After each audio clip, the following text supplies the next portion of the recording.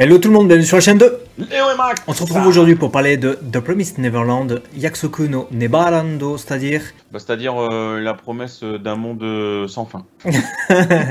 ou d'un film déjà vu. Parce que, alors, je tiens à vous mettre en garde immédiatement. On va parler du nouveau trailer, donc du film qui va sortir le 18 décembre au Japon. Euh, c'est écrit sur cette affiche que vous pouvez voir à l'écran, qui, ma foi, est une affiche qui résume plutôt bien le, Mhm. le film, même si je, je sais pas c'est qui les deux gosses que Norman tient dans ses bras. J'allais vous dire un truc très important, c'est que il y a le trailer sur lequel on va revenir dans cette vidéo, mais le trailer, en fait, on s'est rendu compte qu'il spoil tout le film. On voit tout le film, en fait. C'est un truc de ouf. Clairement, on est désolé, Hmm, on l'aura mis dans le titre. hmm. C'est 100% spoiler parce que. Bon, c'est 100% Je- je trailer spoiler. Non mais je me vois pas Hmm. réagir à ce trailer sans donner des indications de certaines choses. Sinon ça pue la merde. Alors, Donc, juste un truc, juste un avant, que vous partiez. Ah, attendez avant de partir. Attendez, j'en vois plein qui ont dit, euh, qui, qui disent, j'ai vu que l'animé, euh, ah, je vais partir. Non, non, non, parce Ah bah que non. ça va couvrir que la première saison, en fait. Ah bah oui. C'est ce que tu as vu en animé, c'est exactement ce que tu vas voir dans le film. Et c'est exactement ce qu'on voit dans le trailer, à tel point que tu vois la fin de la saison 1 en animé euh, dans le film, en trailer.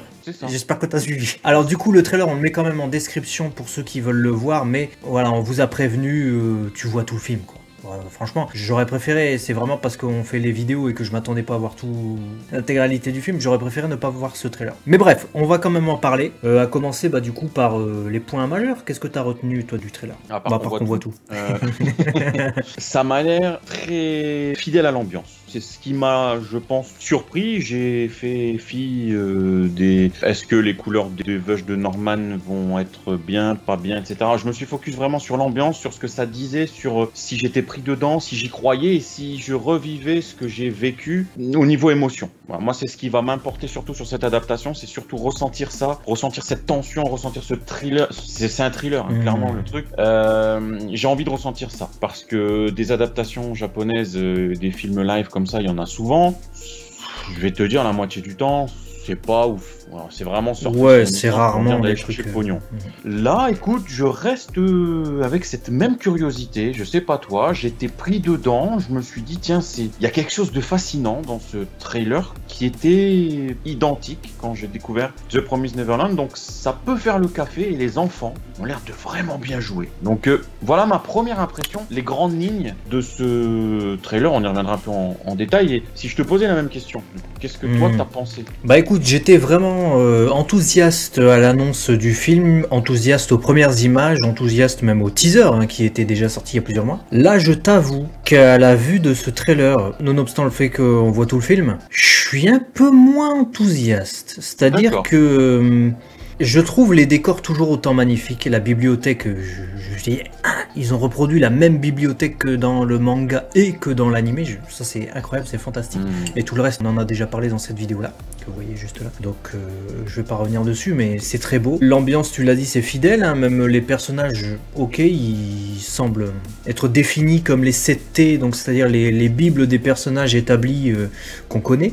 Maintenant, c'est vrai que je suis un peu déstabilisé par le fait que on nous parle d'enfants qui se font enlever, de Connie, etc. Connie, je la vois même pas, ou alors je l'ai pas vue, hein, on doit la voir, j'imagine, dans le trailer. Connie qui est vraiment une très jeune, petite fille, minuscule. Je sais pas quel âge elle a, Connie, peut-être euh, 6 ans, un truc comme ça. Ouais, Connie, on la voit à un moment donné, on voit une petite fille qui fait ça comme ça, euh, Ah ouais genre toute gentille et tout, et puis t'as tout le monde qui lui fait ouais, ciao, bye bye et tout. Ouais, bah ciao, Mais bye bye, contre, euh, effectivement, ouais. Parce Donc, euh, que- du coup, Non mais. Cette scène m'a surprise dans le trailer parce que j'ai l'impression que Norman sourit et Emma aussi. Voilà, ouais, ouais, ils, font, ils font semblant. c'est- Enfin, ils y croient en fait. Ils... Non, c'est pas ils font semblant. À ce moment-là, ils y croient, oui. Euh, ouais, euh, ce que j'allais dire du coup, c'est que les acteurs ont l'air bons, mais. Je sais pas si le film va m'embarquer en fait. Je l'avais peut-être pas percuté lors des dernières vidéos, mais en regardant ce trailer, parce que là c'est un véritable trailer, il dure une minute trente, un truc comme ça, je percute que c'est très difficile quand même de rendre en film ce qu'on a véritablement dans le manga, parce qu'on a un enjeu essentiel et vital lié à des enfants. Et j'insiste sur le mot enfant, c'est-à-dire que c'est des petits, ils sont très jeunes, ils sont innocents en fait, c'est ça, ils sont innocents et ils découvrent en fait la cruauté d'un monde qui euh, semble en plus différent d'une autre, hein, euh, d'un monde très particulier. Ouais, il, il leur échappe hein, jusqu'à l'heure actuelle. Et là, dans ce trailer de film, j'ai eu un petit décalage. Je sais pas à quoi c'est dû, j'arrive pas à me l'expliquer, mais peut-être c'est parce que c'est justement des adolescents et des jeunes adultes et pas des gosses, tu vois, les personnages principaux. Et du coup, je me suis dit, J'arrive pas à ressentir chez eux la même terreur qu'en tant que lecteur j'avais ressenti à travers leurs yeux lorsque ils étaient sous le camion et qu'ils découvraient ce qui s'y passe, tu vois. C'est peut-être ça qui m'a gêné dans ce trailer, je sais pas. Et j'ai vraiment du mal à mettre des mots, à évaluer véritablement qu'est-ce qui m'a gêné dans ce trailer. Mais au-delà du fait qu'on voit tout, il y a vraiment un truc comme ça qui m'a fait me dire ça va peut-être pas être aussi bien que ce que je pensais. Est-ce que c'est parce qu'on connaît peut-être déjà et qu'on a plus, pas plus de mal, attention, mais plus de moins de surprises et que du coup non, ça, non, ça non. Je Moins de surprise dans le fait, tu veux dire, de voir des scènes rejouées qu'on connaît, mais qui sont rejouées cette fois avec de vrais acteurs? Pas forcément, parce que si c'est bien fait, moi je vais kiffer. Tu vois, euh, quand t'as une très belle adaptation et que ça adapte bien, un peu comme l'animé adapte bien le manga, un passage que tu connais et que tu le redécouvres sous un autre prisme, et c'est jouissif quelque part. Tu dis, ah, mm. ça peut être euh, mis en image comme ça c'est stylé, tu vois. Euh, donc ça, ça me gêne pas. J'ai hâte même de voir aussi ce côté-là. Non, c'est vrai qu'il y a un côté qui m'a gêné dans ce film. Euh, ça m'avait pas gêné sur les précédentes images. Enfin, je dis dans ce film, dans, le trailer. Le film il sera peut-être euh, magnifique, tu vois. Moi, je pense que ça peut embarquer parce que même l'étalonnage, hein, donc l'étalonnage pour ceux qui. Alors c'est pas, si vous êtes fan de foot, c'est pas l'étalonnade. Non, ça c'est l'étalonnage. ça c'est autre chose.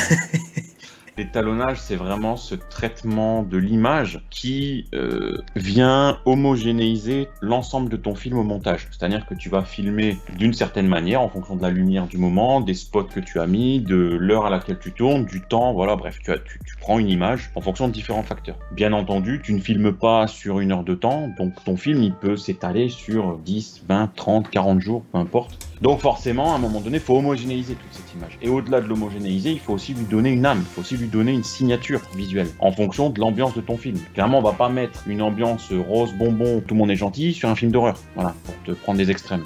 Et ouais, et du coup, en fait, ça m'a interpellé parce que j'ai trouvé ça très qualitatif. Et je me suis dit, ça peut renforcer et ça peut aider.